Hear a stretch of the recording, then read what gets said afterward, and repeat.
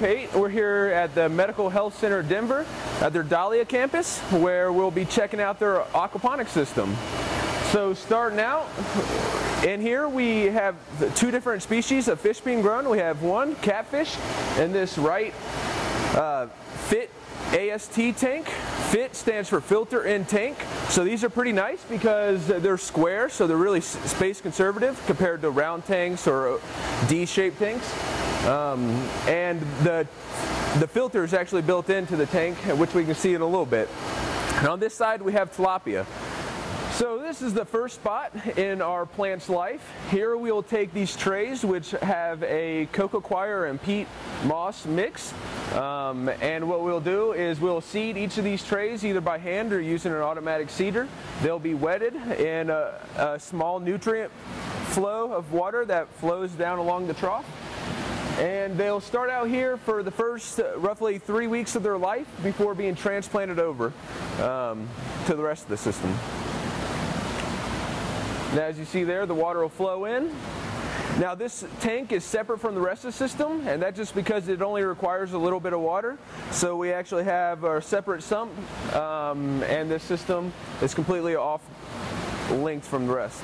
So this is the next uh, stage in our uh, plant's life. So after being started off in the plug trays, once they get up after a week or two and they start getting their true leaves, they'll be transplanted into these lattice rafts. Um, so these are just the lattices that you use at your garden um, on some styrofoam blocks. And that will allow us to do about 50 of these plugs per two by two foot section.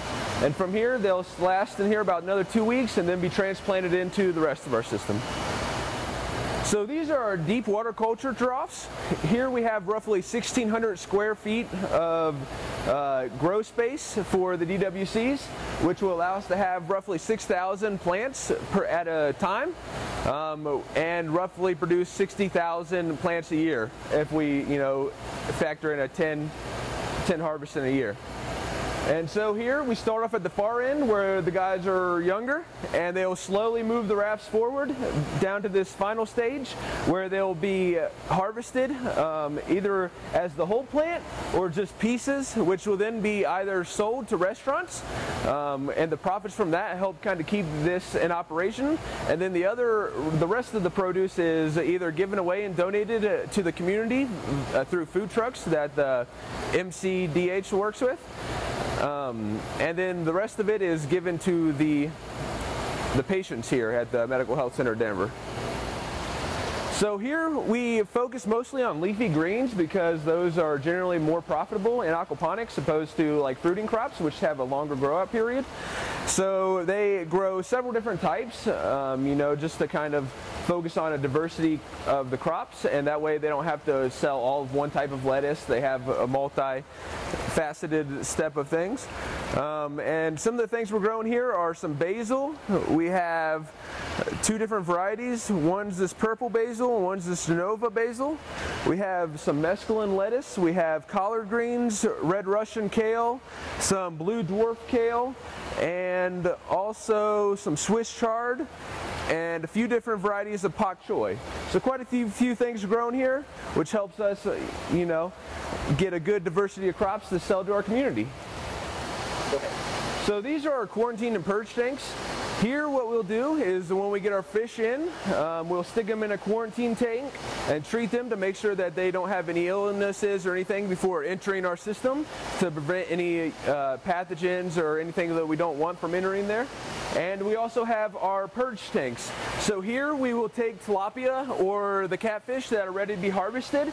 We'll leave them in here for roughly three days to a week um, where they won't get any food. This is salt water. So that salt will naturally kind of uh, go into the flesh and help flavor the meat a little bit and kind of, uh, they say crispen up the, the flesh. But then also this allows us to get all the solids out of the system, out of the fish's system, and gives give us a cleaner taste when we're cooking up our product. So this is a small system that's a, part of the farm. Um, it is separate, but generally, you know, with a lot of aquaponics producers, they like to have some flexibility in what they're growing. So this gives the farmers uh, the ability to test out new crops that they might be interested in or kind of play around. So here we have our fish tank.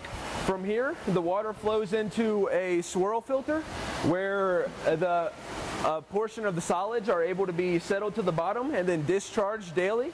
The, the clean water will then flow into the sump. From the sump, it is pumped up in actually two directions and teed off.